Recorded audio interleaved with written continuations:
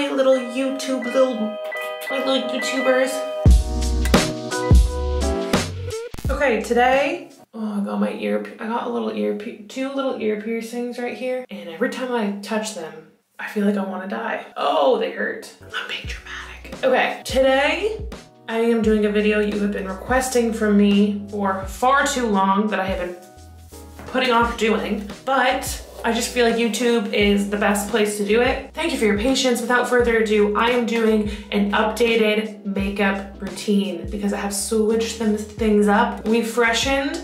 It's very similar to my like previous one with some changes I've incorporated from actually the video I did recreating Mary from Love Island, her makeup look. Personally, hers was a bit heavy for me. So this is like me modifying it and oh, I just, I feel like I found my, my look, my look. So I'm going to run through that with you.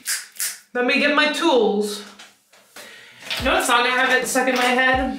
Of course, it's from TikTok. If you wonder if I hate you. Or this one. Come here, bring that dick here. Like, I cannot get them out of my head. All right, so I'm just gonna splash some water on my face because I feel greasy. Okay, moisturizer. This is my favorite moisturizer. It's an illuminating moisturizer from Tata Harper. Just gonna put a little of that on.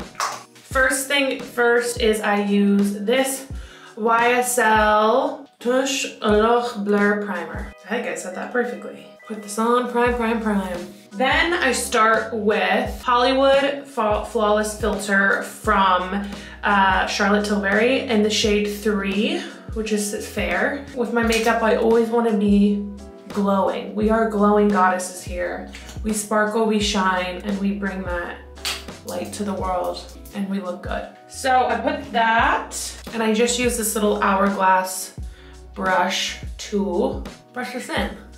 This is a new step that I hadn't done in my original makeup video. Mary from Love Island used this and I do really like it. Like you can see, oh my gosh, my skin, what the heck, it's freaking glowing. I've also switched out my foundation.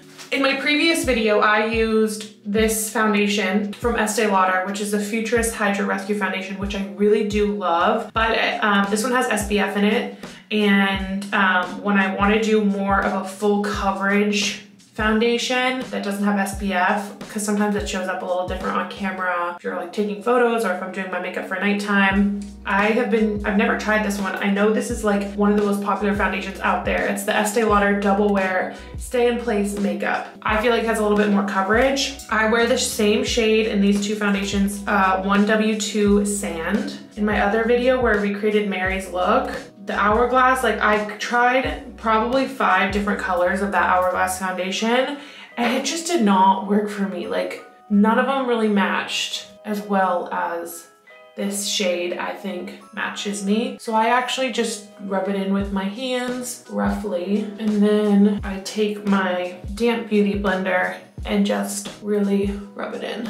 Yeah, this one definitely feels like more coverage than the one I was using previously with SPF, but I still love them both. I usually use the one with SPF more for like daytime and this one for like fancier nighttime or when I'm shooting and need more coverage. Then I also have switched up my concealer. So gosh, I'm like an Estee Lauder whore, ho, both. Oh god, this hair is driving me mad. So I was using the NARS concealer before and I felt like I just wanted to try something new. So I've been using the Estee Lauder Double Wear Stay in Place Flawless Wear Concealer and I do think it goes really well with the foundation.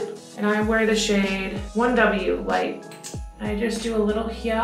Every beauty person says lift. We are lifting. Then I'll just go down the center of my nose nose, D, D, D, forehead, chin, chinny chin chin. What I am using from Hourglass still, this is actually a foundation in the shade Almond, but I use it as contour. Just feel like it gives you a little more oomph than if you were just doing your bronzer. So I just do it in these two spots and like very lightly.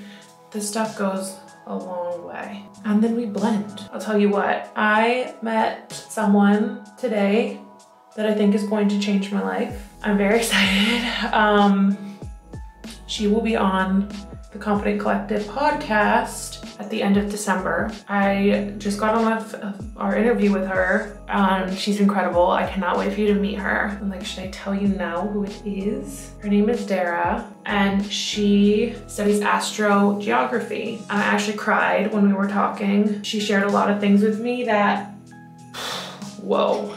It's just gonna be such a good episode and I'm like, wow, I'm gonna have some major life changes coming. I'm really excited. And oh, I'm just excited. Okay, so when I blend that in, I just use that with my beauty blender. I use this little buffer brush to start, and then sometimes I'll even go in with my beauty blender to blend it a little bit more. And then this one, blend it back into the hairline. Blend, blend, blend.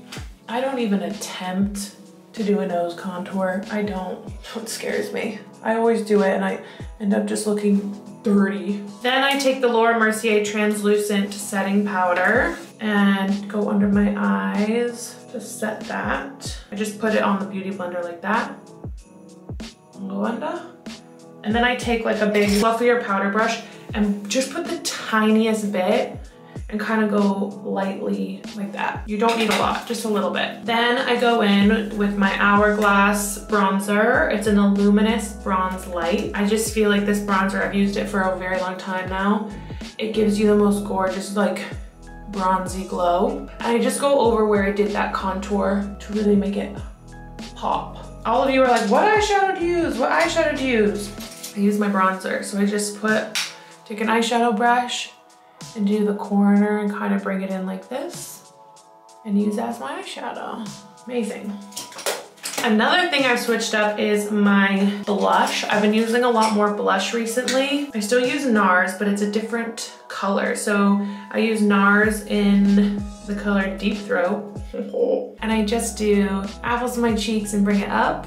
I really go to town with the blush. I just love it. And then I'll even go over my nose like this and then on my eyelids too, like that. I've used the Hourglass Ambient Highlighter. This is Euphoric Strobe Light. And I just put it here, my cupid's bow, tip of my nose, my chin, chin, cheekbone, then a little bit under my eye,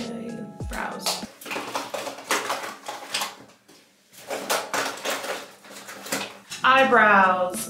I am still on the Huda Beauty train with the brows. I just think it gives you a very natural, fluffy looking eyebrow look. So brush these through. I just draw a very faint line along the bottom of my brow. And then I draw in at the ends, going heavier on the back here. And then as I move in towards the eyebrow, I get lighter with my strokes. So heavier and then do lighter handed as you come into the middle. Cool, cool, cool, cool, cool. Then for the eyebrow gel, I was using the Refy one for a while, but then it started, I don't know, it started getting like clumpy. This one I'm using is by Mario. There's two sides of this brush. One is fluffier, one is like not as fluffy. I take the fluffy one and brush the opposite way with the gel to like coat the eyebrows. And then I take the other side, that's like the shorter side, and brush it through to like put it into place. These suckers ain't gonna move with this stuff on. This stuff is very powerful. That's just about everything. I use the All Nighter Setting Spray from Urban Decay. This stuff is like on its last leg. Oh, fuck.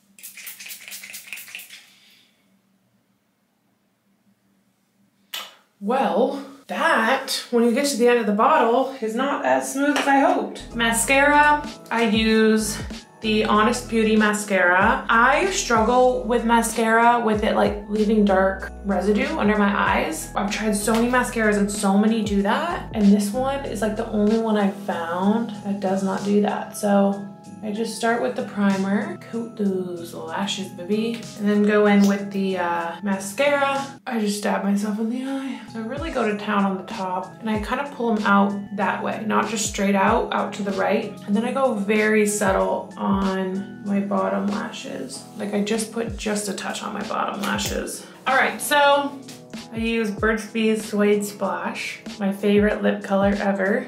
I have been using this lipstick for almost 10 years. Then I go over with the Summer Fridays gloss over top. I feel like this makes your lips look bigger. Gloss on. That is my full makeup routine. Uh, this is what I do if I'm shooting, if I'm going to dinner, honestly, like just about anything. This is the makeup look that I do. Few updates, few tweaks. I will link everything in the description of the video so you can find direct links my shade info, all that good stuff. Thank you for watching. If you try it, please tag me on your Instagram, show me a selfie and tag me so I can see how gorgeous you look. That is all I have for you today. Thank you for watching this very chaotic makeup tutorial. I hope you enjoyed it. I love you so much. See you next time. Bye.